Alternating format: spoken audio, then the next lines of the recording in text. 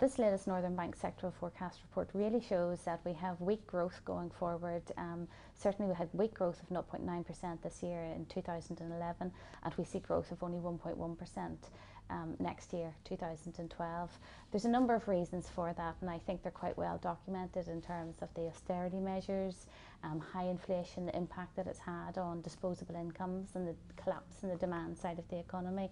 And then, of course, the euro crisis, which has been um, really important recently. Northern Ireland's economic fortunes will really depend on two things. They'll depend on the um, resolving this crisis in Europe, and obviously, we can't do anything to influence that.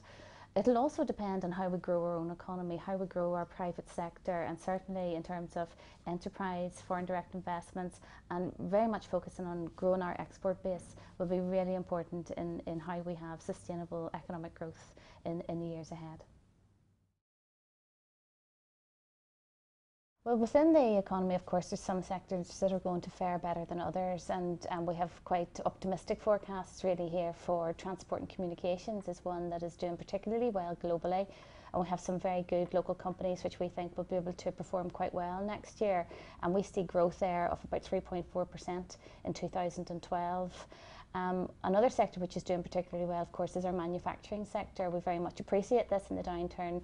Um, local manufacturers being able to tap into export markets. Certainly, there will be some limitations to manufacturing and our exports next year, and we do have we have revised down the growth. The reason for that is simply the euro crisis. Further um, sector which we do have uh, good hopes for next year is business services and we certainly see growth there of about 3% next year. Um, the reason for this is we have seen um, really particularly in things like legal or um, in real estate, etc., we've seen it kind of bottoming out in terms of the employment there. So we do see potential growth, and we also have to think about the fact that certainly our legal services, our accountancy services, these are high skill sectors, but they're actually priced very competitively in Northern Ireland, and we do have hopes that they might be able to maybe tap into more international markets and pull in some of those jobs um, at, at, a, at an international level. Business service exports are going to be very important going forward. Of course, not all sectors will be doing well. We, we know there's been a big collapse in demand locally, not just locally, actually at the national and international level. Uh, and really, when you have that collapse in demand, you have certain sectors which will struggle more than others. Retail, for example, is forecast to, to struggle in the year ahead. Um, we have had no recovery in the housing market, and really that's been kept down by low confidence. And of course, those sectors that are associated with um, housing, construction, etc., will continue to struggle next year. Um, and finally, hospitality again, when disposable incomes are squeezed, and certainly most of our tourist markets, for example, the Republic of Ireland, etc., and many Europeans also feeling that squeeze. And tourism is one of those sectors in hospitality which will have a, a difficult enough 2012. And then we have the public sector itself, um, those austerity measures that are forced on us from UK Treasury. There's no doubt about it, they will impact upon local departments on education, on health, on public administration.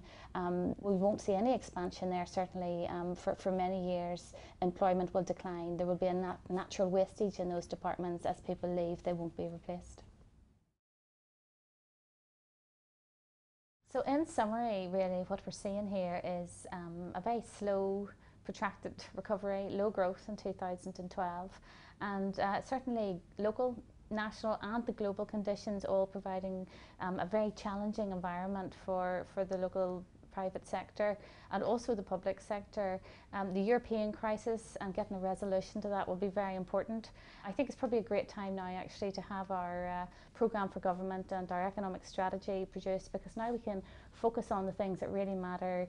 Um, enterprise, foreign direct investment and exports are going to be so important going forward and, uh, and drive economic growth.